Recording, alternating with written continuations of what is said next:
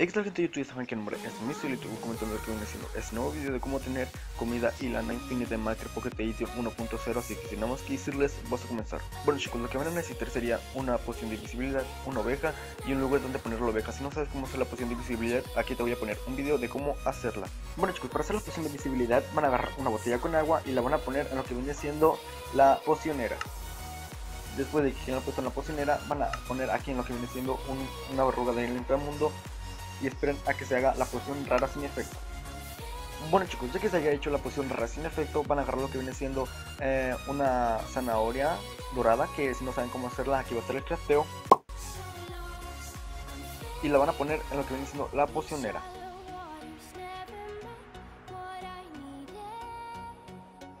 Yo les recomiendo que hagan tres pociones chicos para que así no tengan que hacer otra vez lo que viene siendo las pociones eh, una por una y no, y no gasten tanto material.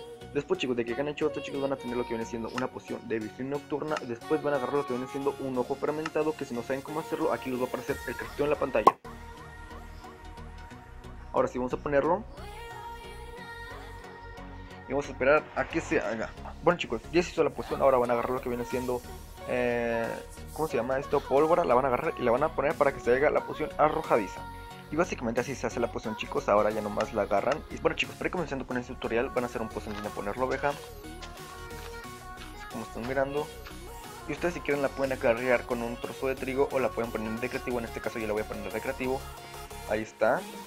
Después de que tengan ya la oveja adentro del pozo chicos van a agarrar una poción de invisibilidad y se la van a aventar a la oveja.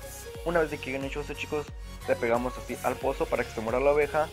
Y ahí está chicos, ya sería prácticamente todo chicos, así que si quieren pueden poner lo que viene siendo un cubo de lava hasta que le dé a la oveja y luego ya quitamos esto para que la oveja se queme y esté generando la comida cocinada. Bueno chicos, obviamente esto se desaparece después de creo que unos 5 minutos creo.